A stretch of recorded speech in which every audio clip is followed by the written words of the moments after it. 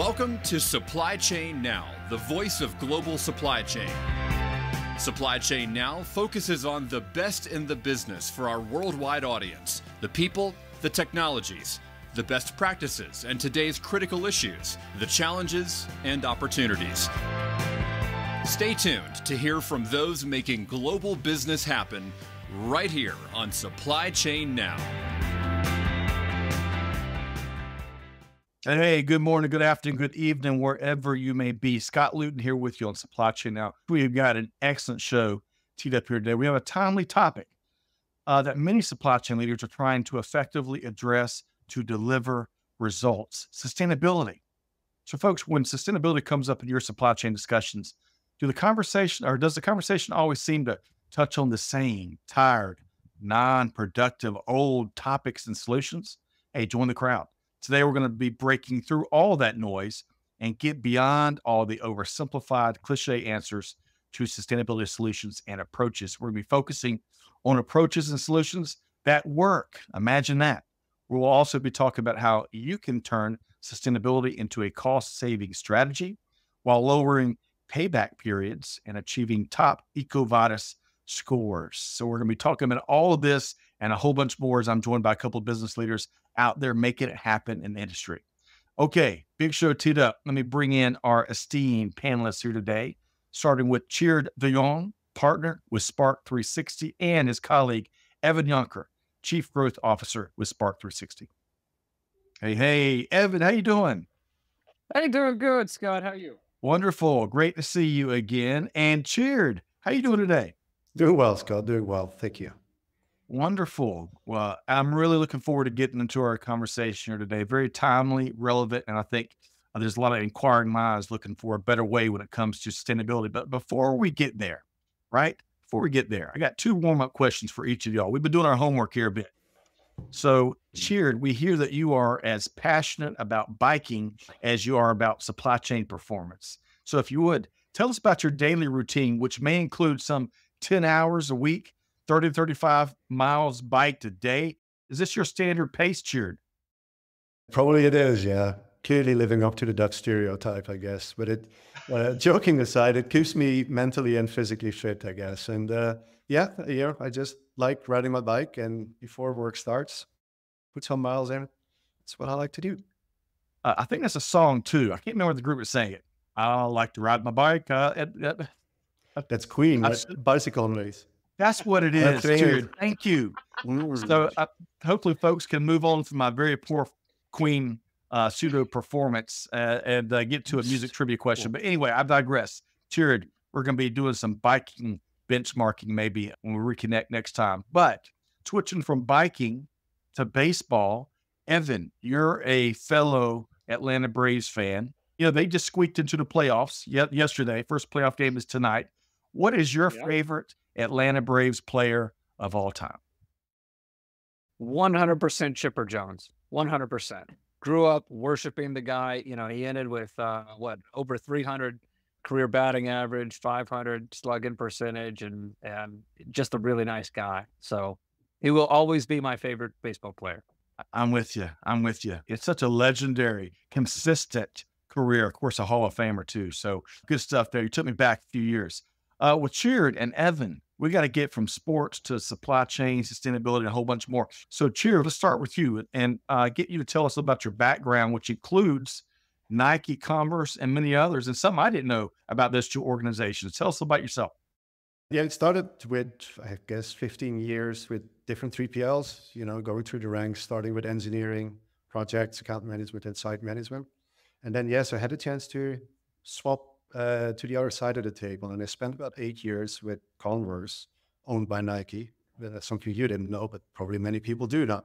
First in uh, in Europe as the distribution director for about five years, and then I had a chance of moving to the headquarters in Boston and work on supply chain strategy there, mainly on sourcing and manufacturing and some omni-channel work.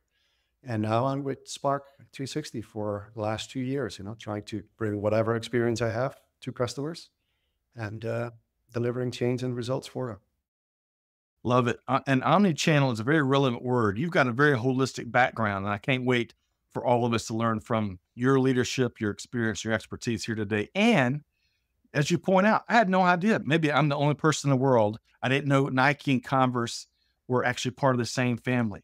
Uh, all right. So, Evan, if you would, uh, great to have members of the Sparq360 team back with us. We've had a great podcast. We had a great session on some research we'll touch on here in a minute. But tell us if you would remind a few about what Sparq360 does. Yeah, well, Sparq360 has been called kind of the hands-on consultants, and and I think we're a little bit offended by that, not by the hands-on part, but by the consultants part, because pretty much our team is made up of people like Tjeerd, people with real-world experience. You know, we've had supply chain managers and operators at all levels of uh, supply chain and logistics in the sustainability world, and uh, we came together to deliver, you know, first-class, uh, real-world solutions for companies that are facing sustainability and supply chain challenges. Love it. Uh, real world, practical, tangible. None of the, the highfalutin conceptual stuff. I love that element of y'all's DNA there at Sparq360. All right. So, Evan, it's here. We got a lot to get to today. So, our topic, as we have been talking about, sustainability solutions that work, looking beyond the oversimplified answers. And there's lots of oversimplified answers, not just relegated to sustainability. Okay. So, as we were talking a second ago, uh, when Evan was telling us about Sparq360, it's important and relevant to note that Sparq360 is different than a lot of those other consulting firms. Hands on, boots on the ground, tied directly to real results. That's really important to note here. So, when it comes to driving real sustainability outcomes, there's a ton of different approaches successful, unsuccessful, counterproductive, even. So, Evan, let's start with you as we continue to set the table a bit. What are you seeing out in the marketplace? Well, and and Scott, we talked about it last time we were together. We hear things, you know, when we're talking to clients, we're talking to potential clients and, and people we work with. And last year, we decided, or earlier this year, we decided to go out and actually talk to about 300 supply chain managers across the United States. And we did a, a fairly extensive survey. We did where we discussed it in depth, but Yep. we learned a few things about about sustainability and how people are, are approaching that and what they're seeing in the market. One of those is that over 93% of supply chain managers are reporting that they're seeing sustainability requirements in RFPs. And with more than one third of those saying that they're seeing it often or always. And that was a little bit higher than we'd expected, but it's certainly it's something that's continuing to grow. At the same time, 21.8% of companies reported that they have either, either a non existent or only slightly comprehensive sustainability program. So we're seeing this demand for something that we're not able to provide. And so that's a little bit off in terms of where we need to be. Another thing we noticed is that about 50%, just a hair over 50% of companies are measuring greenhouse gases. And 10% of the supply chain managers didn't even know if they were measuring them or not. And so you can take kind of that 21.8% number and that that only 50% measuring number, and you kind of see where we are in the US in terms of our sustainability programming. And we also see that higher demand. On the flip side, or on the promising side, I would say, is we're seeing a lot of people beginning to collaborate on it. And so both on on supply chain uh, initiatives, but also on sustainability initiatives, you have a little over 70% that are sometimes or often collaborating with their suppliers on initiatives. So there is some encouraging news coming out, but we are definitely seeing a huge growing edge. You know, those are just a few of the things that we've learned in the last year from this survey.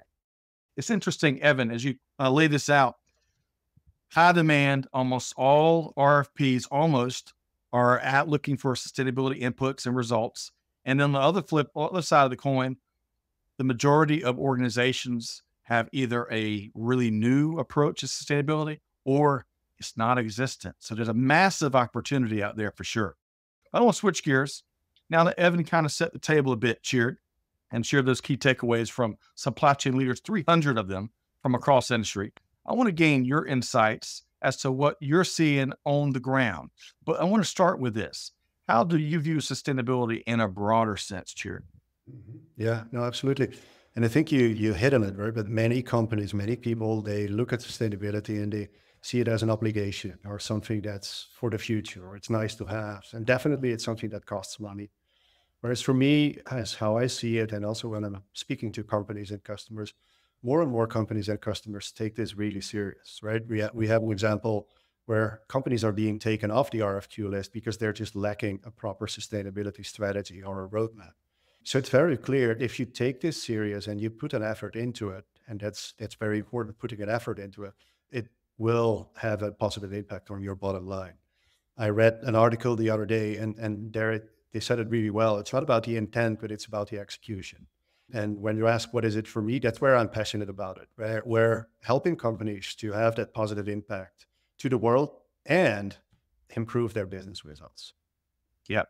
Really important. We all know what intent uh, gets us, right? A best of intentions. Hey, very admirable. But to your point, Tjeerd, it's about the ability to execute and show results. That's what those RFPs are looking for. And if you want to find more and more opportunities of finding new revenue, new good revenue, man, one of the best things you can do is strengthen your approach of driving real sustainability uh, gains because it is quite, this era is certainly um, full of the sustainability imperative, is what I like to call it. Um, all right. So, Tjeerd, when you think about all the elements required to assemble a sustainability approach, that works and produces real results, right? And the ability to execute, as you just said a minute ago. What are those elements and why is it such a heavy burden for business leaders, you think? Maybe start with the burden. It's unknown. Many people see it as complex and, and costly, right? But also, uh, I think many organizations have sustainability, the sustainability function in different departments. Some have it under legal because they focus on the compliance portion or under finance because it's related to accounting, or under sustainability. But what's clear is if you want to take this serious and do something about it, you need cross functional leadership alignment. And that takes time and coordination at different levels of the organization. So I think that addresses what is the burden. And now, what are the elements that are required? I think it really starts with an alignment at the organization, at leadership level. The executive team needs to be aware and needs to approve to do it well because there's not a single executive leadership team member that will say, no, we shouldn't do this. But do they understand what it means to do it well, right? So that that is very mm-hmm. important. That's the base, I'd say. And then you get into the approach and the process where you need to understand what is important for my organization, for my company. For those in Europe, you know, there's uh, this CSRD program. We're talking about material topics, but what are the main themes? What are important things for your organization? If you are aware of that, you're, uh, then the next step is to set a baseline. Understand where are you? What is your current emissions? What policies do you have in place, and so on. To then create a strategy and a roadmap for those topics, for those themes, and set targets for it. So measure it, uh, measure first your baseline, define where you want to go, and create a roadmap where you're going and then have a cross-functional team. And that cross-functional is really important. It cannot just be that one team within the organization. It really needs to be cross-functional to work on those efforts. And that's when the fun starts, right? You'll learn, you'll fail, but you'll also succeed. So measure your progress and celebrate those successes. And those are really, I think, the, the key elements to make a difference. I'm glad we're recording this because the last five minutes, Evan certainly shares a great, uh, some proven tips, right? What some of the things we heard there cross functional leadership. It might sound easier. Well, it definitely sounds easier said than done, right? It takes time. You got to communicate right. You got to get, grab that alignment that Tjeerd talked about. You got to answer the question, the why, right? Everyone needs to understand the why. Why are we doing this? Setting the baseline, uh, reporting. A lot of studies out there. Organizations that don't really invest in the ability to report, they tend to have less success. All right. So understanding where you are, setting those targets, and then of course building a roadmap from here to there. Right. Quick comment, Evan. I think around before I continue with Tjeerd, when you think of alignment, you think of addressing the why. You think of um, of really understanding and knowing where we are and where we want to go. Many of these are, are timeless, proven leadership best practices. Your quick uh, check in and comment there. Tjeerd, spot on. It's really that inner that multidisciplinary approach is is what tends to yield the best results. When we try to silo sustainability as a checklist, when we try to take sustainability and say, okay, so and so, you know, the CEO said we have to do this, or so and so said we have to do this, or oh darn, you know, we keep getting an RFPs, we have to do it. So you make some poor guy go off and create a quick sustainability program thinking that that's going to solve your problems. Yes. It's not. And then you're going to be one of the people that's cursing sustainability. It's a, you know, sustainability is an opportunity to to become more efficient, to to create a system where you can, you know, optimize your supply chain while implementing a sustainability program and achieving best in class solutions. You can gain competitive advantage if you approach it from a integrated standpoint. Well, I appreciate you spiking the football on that because that's exactly where I'm going next with Tjeerd. Clearly, core to y'all's philosophy and Tjeerd, even your personal philosophy in terms of the results y'all have gotten is baking sustainability, just like Evan said, baking sustainability into everyday supply chain management, not as a separate function or a silo or initiative or project. It's core to really the DNA of an organization. That's how, that's what the best in class performers are doing. So all of that is one critical component to ensuring return on investment, which is important, is successful, real results are there. And those payback periods, we don't want seven year payback periods. We want them nice and short, right? Is all that right, Tjeerd? Mm-hmm. Yeah, no, absolutely. okay. all right. So then if I, um, if I'm following both you and, and Evan, is what emerges from all of that is a three pronged simultaneous strategy that focuses on focuses on sustainability, supply chain optimization, and this word resilience that we've heard tons about. But we're going to talk about my hunch is real tangible resilience. So talk talk to us about that three pronged approach, Tjeerd. So if you think about it, right, if you want to optimize your uh, supply chain, you need to clearly understand all the players and the partners that you have in your network uh, not just your logistics partners, but your think of your tier one, tier two, tier three vendors, for example, your logistics partners. So if you want to optimize that, you need to understand what's going on. Well, for sustainability, you you need to speak to the exact same people because you need to get a lot of data out of your out of your vendors in the value chain. Uh, you need to work with these guys to get that information. So you really need to speak to them, not just send an email and try to get the information back. Mm. And when you're thinking about supply chain resilience, you need to speak to the same people. So that's where that philosophy is coming from, where if you do this and you do this well, and not just in a one-off effort, but you build a relationship with these uh, with these companies, you understand where each other's constraints are, you can truly optimize the supply chain for the better, optimize your costs, get the information that you need for your um, sustainability obligations that you're having, and then under also understand where your weaknesses are in your supply chain and do something about it. So that's where those three topics of sustainability, supply chain, cost or optimization, if you will, and resilience are coming together really nice. Yep. And they can feed each other there. Those three things, when we're really uh, set out to very intentionally with uh, great discipline and investment to optimize those three things, man, it's like a flywheel effect can take place, I think, especially going back to your earlier response, but both of y'all were saying, when you get the organization bought in and committed to, hey, this is where we are, let's face the truth. Going back to even Evans, uh, the survey numbers, right? A lot of organizations are struggling with sustainability, right? But let's let's embrace where we are, and hey, here's where we're going to go. Here's a bold new target, and even better yet, this is how we're all going to get there. Uh, and then those three things, man, can work like flywheels and across the ecosystem. Um, Evan, what else would you add as as Tjeerd was talking about that three prong approach and the opportunity that's there? What else would you add there?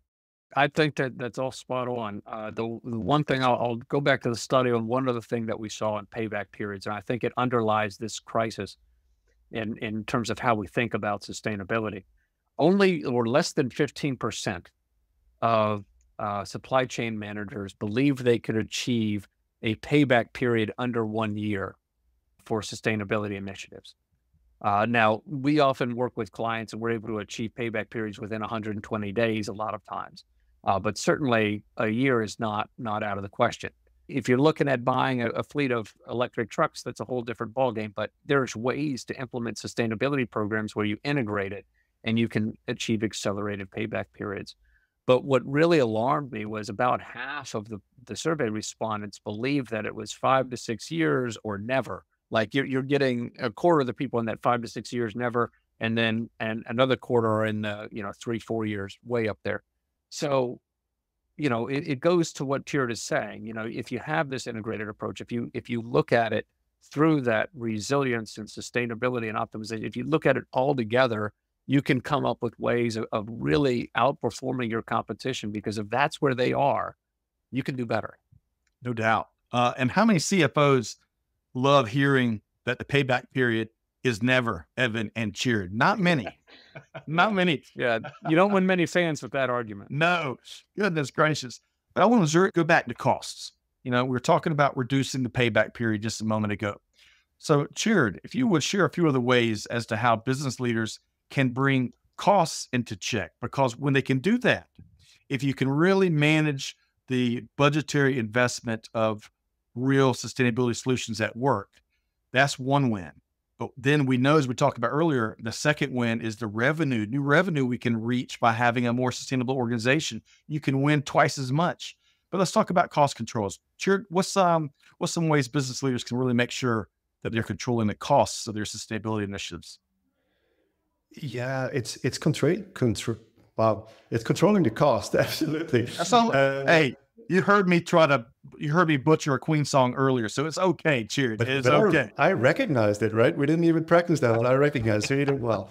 Uh, recognizing uh, or controlling cost, absolutely true. But it's. I mean, we see this, and, and within Sparq, and I see it. I read this recent study of the Boston Consultancy Group, and okay there they shared some very interesting insights. And um, but one key line there uh, is when implemented well, and I put an exclamation mark on it there because that's what it is all about. If you implement a sustainability and you you're only focusing on the compliance component of it, and that you're able to generate a report and so on, it, it's not really going to bring you anything. But if you dive into it and work on uh, setting those targets, as we spoke about before, that's when you are able to to earn back the the money of the initial investment, right? Because yes, you need to spend time and energy and resources into getting started. So there's always first a cost component that comes first.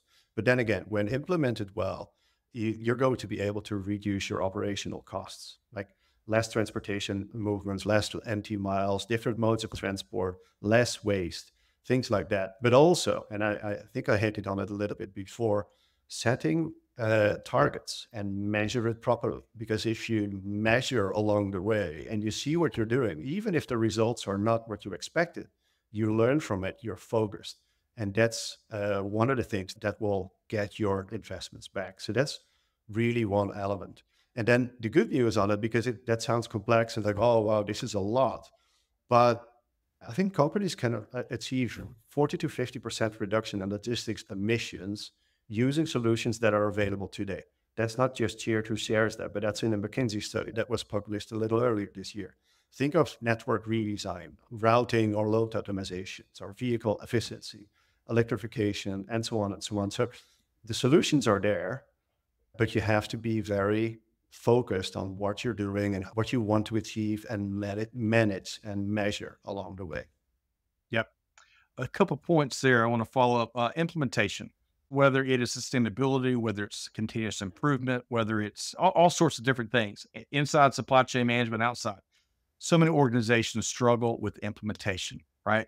Uh, they can gather and wrap their head around best practices and what they should do, but implementation is really going back to execution, not intents, uh, and intentions, but execution. That's where a lot of folks look to reach outside the organization to find help. And of course, that's what Evan and Tjeerd and Sparq360 team does all the time. Uh, secondly, I want to go back to this BCG study. It's the fourth annual survey on carbon emissions. They surveyed some 2,000 companies. The rate of decarbonization has actually slowed. Only 11% of companies are meeting their emissions reductions goals. That's what Tjeerd was talking about, you know, setting those targets. But the good news is, there's always good news if you go look, and financial benefits have continued to grow uh, from initiatives tied to getting tangible gains in your sustainability initiatives. Reporting, though, continues to be a challenge. Only 9% of companies said they comprehensively report scope one, two, and three emissions. But if you don't even report, things get a lot more challenging, right? It gets a lot more challenging to set in the right targets and certainly from building a roadmap that will work, right? Evan. So you get calls all the time from your rock and roll network around the world, the market, customers, prospects, industry movers and shakers.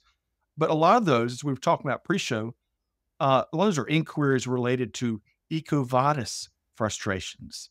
Now, for some folks out there, that might be a new name. There's some folks out there aren't familiar with that. So EcoVadis is having a pretty big impact on industry. So first off, Evan, if you would, tell us more about what it is first. EcoVadis has been around for for a little while now, and it's it's global. People all over the world are, are looking at EcoVadis as kind of a validation for for some of their work. Uh, a lot of these RFQs are asking for an EcoVadis score, or if they're not, EcoVadis is a proxy for showing that you have a sustainability program. That said, particularly for companies in in the U.S., it becomes a proxy for for for regulation, right? We've talked before, Scott, about you know the the regulatory environment in the United States versus the rest of the world, and you know the SEC passed right you know rule reporting rules, and those got taken to court, and who knows where we're going to end up, right? But at the end of the day, we operate in a global environment. We all know that, right? And so we have companies all over the world that have global reporting regulations in Europe and Asia and Australia. And if you're operating and working for any of these clients, you are getting whether you want to or not, you're getting pulled into this conversation. Now, I was encouraged in the survey. It showed, you know, we listed a number of different reasons why people are interested in sustainability programs, and all six of them showed that people were positively inclined to everything from talent recruitment to having an impact to to meeting regulatory requirements and everything else. People understand that larger impact. But when you're told, and, and we've had it, we've had people call, they have a, a, global client and they're like, I don't need that stuff. I'm, I'm fine. And then the next week they get, hey, by the way, you have to have some sustainability program we're dropping you. And it's their biggest client, Scott. Mm. so all of a sudden this becomes an imperative. And a lot of times EcoVadis and getting an EcoVadis certification becomes the pathway for proving that you have the programs. And so that has taken the place for many companies in in place of regulation. So, hey, Evan, that's excellent point. If I could chime in just for a second, that third party yeah. validation is critical. There's no shortage of reindeer games going on, not just mm-hmm. in sustainability, but across all sorts of reporting. And yeah. that's where I think EcoVadis and groups like that uh, mm-hmm. are really helping to demystify what's going on across the sustainability world, for lack of a better word. So that's a great call out, Evan. So please continue. So here we go. And, and so some people are calling us, we need a sustainability program or we're going to lose our biggest client. And some people are calling us, we already started an EcoVadis and sent in our paperwork and we did all this work. I had one guy call me and say, I invested, you know, we invested a quarter million dollars in, in a sustainability program to get an EcoVadis score and we got a horrible score. Wow. And they don't understand why. Just to let you know, Sparq360, we, you know, we are a certified training partner and consultant with EcoVadis. So that being said, we can tell you that there isn't some magic proof. There's no random dice being thrown in the back room. There are a set of things that you can do to maximize your score. Okay. There's four categories and and those categories line up with uh, the 21 sustainability criteria and they all consolidate to that score out of 100 okay but i would say if i was to give your audience a, a list of the top do's and don'ts the top don't is create your tracking reports in Microsoft Excel. This is not considered a a management system. Microsoft Excel is not the heart of your sustainability program, and you'd be surprised how many people that's how they're tracking and, and reporting. Uh, what EcoVadis likes to see on the do side of this is management systems in place, and that's kind of a, a set of comprehensive policies a set of continuous improvements uh, that can be made by monitoring performance with tracking tools and relevant KPIs. And so if you put that in place instead of Excel spreadsheets, you will be in a better position. Another thing, so number two, okay, don't in doing an EcoVadis application, don't throw a bunch of stuff together just to get the application in and finish your application. One of the things that'll count against you is if those policies are less than three months old, that's a ding. Okay. And a lot of people don't realize it. They think they're doing a great job by compiling things and getting them together. Right. They need to age. You're better off setting those policies and letting them sit for three months, implement them, get used to them, measure against them, check on them, and then submit your application. Because if they see there's some age behind it, that will help out as well. There's a lot of these things. Now, like I said, we're we're a certified training partner and consulting firm. So we'll help guide people through this process. But there's a lot of things like that that a lot of people aren't aware of that if you take those on, if you take that and you, and you develop these systems, if you develop measurement, Tjeerd was talking earlier about, you know, you measure these things. If you start measuring, you start integrating it with your your optimization uh, strategies, then you'll see real results and your EcoVadis score will naturally go up. One other point I want to make is once you get a score, you're stuck with that score for a year. Okay. Really? So if you don't have an EcoVadis score and you're looking to get one, it's really worth taking the time to do it right. Because once you have it, that's what you have for the next year until you can reapply. So just keep that peace in mind. There's a lot of other things, and we're going to have a blog post next week. So Okay. if anybody follows us on LinkedIn, you can catch that post when it comes out, I believe, next Tuesday. Those are some quick takeaways for EcoVadis scores. Evan, I think that's gold. And I'm newer to EcoVadis. Where my mind is going, Tjeerd and Evan, is we get serious at that first step and really understanding where we are, right? And uh, set our targets, do our reporting, set the plan. And then we get serious about executing and implementing. And you made organizations out there may they may not have the talent in house, right? Maybe they bring it in, but however they do it, they implement and get those results. And then thirdly, they look to leverage those results for those wins, but you got to do that the right way, as Evan's pointing out. You don't want to just pencil whip it to get it done because that may not produce the greatest score, which you're stuck with for a year, right? And that that's a key point, Evan and Tjeerd, because if you're stuck with a certain score for a year, that may prevent you from optimizing the revenue and the RFPs and the gains you can make from your sustainability progress, right? Am I following all that right, uh, Evan and Tjeerd? Right? I, I can be a slow learner sometimes, but is all that, am I tracking with y'all? All good, all good. Okay. All right. Wonderful. So now we're going to bring it all home. I'm all about examples and anecdotes, especially those with with um, real practical elements to them. Right. Let's do this because we want to, you know, we want to reduce costs. We want to speed up payback periods, and we want to make sure we we protect that valuable alignment, not just within uh, the organizational leadership, but the alignment with all the other corporate goals. Right. Everything's got to play nicely in the sandbox, right? So when it comes to the examples, let's say I've got a company and I keep seeing, like we were saying earlier, Evan, I keep seeing those sustainability sections in RFQs and RFPs, and I know I got to do something. Otherwise, we're losing competitive advantage, right? So, how could I approach this in a way where I can successfully manage the money and time invested while still protecting and delighting my current customers? So, what's a good example, Tjeerd, that comes to mind? There's many examples that I come up can come up with, but one that I'm working on right now is for a company that has uh, manufacturing locations on both sides of the ocean in, in Europe and the US. And they're moving a lot of inventory in between those sites, mainly by air at the moment. And right now we're uh, working with them together to change the way that they plan and, and restock that inventory and shifting from air to ocean. It clearly saves costs, and we all understand that. But think of all the emission reductions that they achieve at the same time. So I think that's just a very straightforward example of doing the right thing in terms of inventory positioning, being cost conscious, and also reducing your emissions. Yeah. That's a very big example.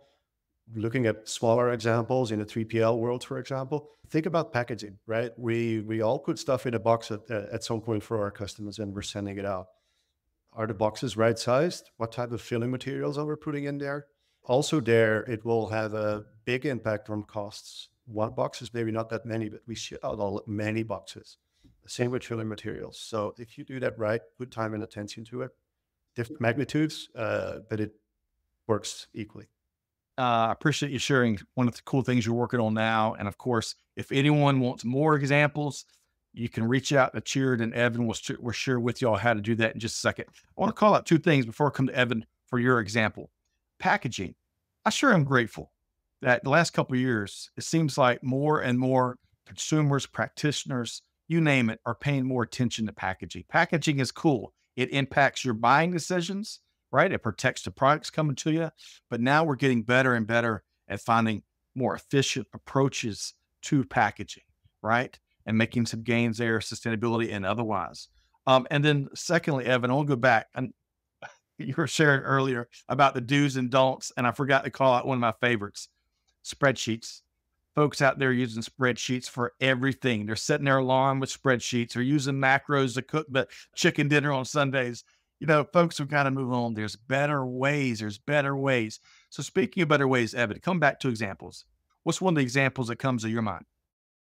Well, one of the things that that we've been able to support a lot of our 3PL clients with is it, it just basically looking at how you have your routes scheduled and and and reducing those backhaul miles. Okay. So a lot of times things just get scheduled as they come in the door. As your client needs something, you know, you're going here with that and there with that. And you end up with a lot of wasted miles. I think 38% was the last number I looked at. And, you know, taking the effort and going through and figuring out what truck is going where on what day and how close that is to another client pickup over here on the other day getting those things aligned getting your capacity aligned with with where you got to get things and trying to get those on a schedule that minimizes those backhaul miles you're saving costs you're meeting client needs if you mm. measure it again you got to measure it if you measure it you have the foundations for a great sustainability program and you're doing it all at the same time. You're actually creating a sustainability program based on something that's saving you cost anyway. So there's an example where integrating those things yields results. Love it. Love it. We have such a tremendous opportunity, kind of along the lines of your sharing, to eliminate uh, empty miles, getting those empty miles off the road. Um, so I appreciate both of you all sharing practical examples. It's kind of what you're known for right? Uh, all about being practical. Evan, if I ever told you, I hadn't t- shared you, this with you, Tjeerd, but I'm very well known for my practical approach to life. I gave Amanda our first Valentine's Day together an umbrella because I saw her run in the rain one day. That did not go over well, Evan and Tjeerd. That did not go over well. And I, I tell you, in the world of consulting, right, you want to be with the uh, practical, outcome driven organization that can help you implement right? I love the whiteboards filled of the best laid plans and all that stuff. But I want you in the trenches with me, helping to get the results that we're all after. And I think that's where a big part of y'all's value is. So now I want to make sure folks know how to connect with both of you, Tjeerd and Evan. So, uh, Evan, let's start with you. We're going to have to talk about Braves baseball. We'll see how they fare against the Padres tonight. Uh, love your Chipper Jones, uh, your passion for Chipper Jones, one of the best ever played a game. Uh, but Evan, how can folks beyond talking Braves baseball with you if they want to lean into the cool things you are doing in industry, driving change, uh, helping organizations implement and and uh, reach tangible goals, or they want to pick your brain on what you're talking about a second ago, EcoVadis, and how organizations out there can leverage that effectively without using spreadsheets. How can folks connect with you, Evan? Yeah, well, uh, again, you're gonna have to be really good at spelling because nothing nothing is spelled like it sounds. But my email is evan.junker at sparq360.com. However, for those listening on audio only, that's evan dot j u n k e r at spark with a q s p a r q 360.com. And if you manage to get that entire email address correctly, I will definitely respond. And I will say, I will say, I, I, I, we do put a lot of information out on LinkedIn. So if, if you're interested in a lot of these topics, I would encourage you to, to jump on LinkedIn and, and follow us or me, and I'll make sure you get that information as well. Outstanding. Um, Tjeerd, how can folks track you down and connect with you? You're doing some cool things. I, I bet uh, you've got a, a full plate, but I bet you welcome shop talk conversations from time to time, huh? Absolutely, absolutely. And if Evan thinks it's complicated to get his email address right, well, sit back right now. So I have a very typical Dutch name with a Frisian first name. So it's tjeerd.dejong at sparq360.com. I would just people encourage, you know, if you remember the sparq360.com, just go to our website and, and you can find us there. Scott, if I can drop two more things really Sure. quickly. One, uh, to your comment earlier about uh, uh, the number of uh, the holistic approach pieces, we do have data in that study we just did. But that study, we did talk about both tho- those concepts, but also the familiarity gap. So if you're interested in knowing where people are in that understanding of those concepts and how to implement them, and how that might vary by the size of company and so on, download the study because there's a lot of cool insights there. And I'd be happy to have a conversation with anybody if they're curious. You know, again, what 300 supply chain leaders, what their views are, that's like gold. And I tell you, Sparq360 and Appalachian State University did a great job diving in. But Evan and Tjeerd, y'all have got colleagues at the CSCMP Edge Conference that's taking place this week. Is that right, Evan? That is correct. Yeah. And if, if you message me on LinkedIn, I'll be happy to connect you. We got people there the next couple of days and, and happy to put you in touch. Outstanding. Great conference. Our early reports are that it is an outstanding conference. We look forward to getting some key takeaways from some of our friends there. I think it's in Nashville. Is that right? Correct. So hey, if you're if you're viewing this here from Nashville, all I gotta say is go get you some hot chicken, folks. Whether you get it, uh, there's lots of different places. You got Prince's, you got uh, Hattie B's, you got other places, but man, it is delicious. Um, okay, what an outstanding conversation, Tjeerd and Evan, and I really appreciate how y'all approach this here today from practical, outcomes driven how can we change from the tired, staid, um, old fashioned conversations about some of the usual suspects when it comes to sustainability conversations to a bold new way of incorporating it and baking it into the rest of your organization. And that way it doesn't just become a check the box today. It is how we do things as a business. So there's a lot more here. I wish we had Evan a couple more hours. Big thanks to you both. Big thanks uh, again Cheered, Leon, partner with Sparq360. Tjeerd, great to have you here today. Look forward to talking more of your shoe industry, sportswear industry uh, background, maybe a, in a later time. My pleasure, Scott. Thank you for having me. You bet. You bet. And always a pleasure, Evan Yonker, Chief Growth Officer with Sparq360. Evan, we have some of the best conversations here today. Really enjoyed meeting you and Dr. Dave last time. And then you bring Tjeerd in here today, who's out there uh, moving mountains in industry. I'm waiting to see who you bring next, like the Rolling Stones or something, Evan. Yeah. we'll see. It'll be a surprise. all right. All right. Connect with Tjeerd and Evan, right? Again, if you're at CSCMP Edge this week, reach out to Evan on LinkedIn. Got to connect with the team there at uh, Sparq360. That's at Edge. Let's take a different approach to doing something about sustainability imperative. And with all that said, on behalf of the entire team at Supply Chain Now, Scott Luton challenge you, do good, get forward, be the change that's needed. We'll see you next time, right back here at Supply Chain Now. Thanks, everybody. Thanks for being a part of our Supply Chain Now community.